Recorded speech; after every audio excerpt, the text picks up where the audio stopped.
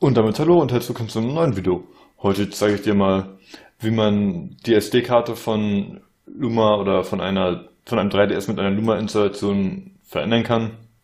Also dass man zum Beispiel, wenn man nur eine 4 GB SD-Karte zur Installation von Luma benutzt hat, dann später auf eine 16 GB oder 32 GB SD-Karte aktualisieren kann. Und äh, dass ich das Ganze hier beantworte, auch wenn das wahrscheinlich ein ziemlich kurzes Video wird, kommt nicht von irgendwoher, denn es wurde sich sogar äh, von mindestens vier Leuten gefragt. Und zwar von Franz Skirke, Brauner Marok, Bobjo und Spy.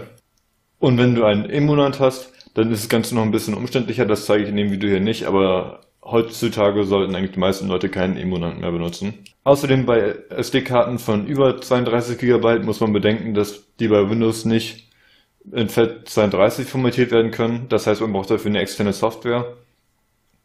Also es geht aber nur mit einer externen Software, die man sich weiter runterladen, die man sich dann noch extra runterladen muss, aber darauf kann ich auch nicht eingehen. Also dieses Tutorial gilt so eigentlich nur für, zwei, für MicroSD-Karten mit bis zu 32 GB.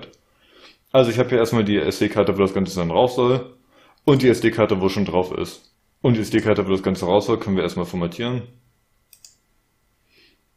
Dann sollte hier eben FAT32 drin stehen. Der Rest kann man kann eigentlich so bleiben normalerweise. Dann kann man auf Start und OK gehen.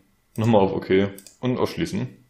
Und dann können wir einfach die ganzen Daten von der alten SD-Karte markieren und sie auf die neue SD-Karte kopieren. Das Ganze kann natürlich, je nachdem, was man schon alles so an Spielen hat, etwas länger dauern. Aber das war es eigentlich auch schon mit dem Tutorial. Vielen Dank fürs Zusehen.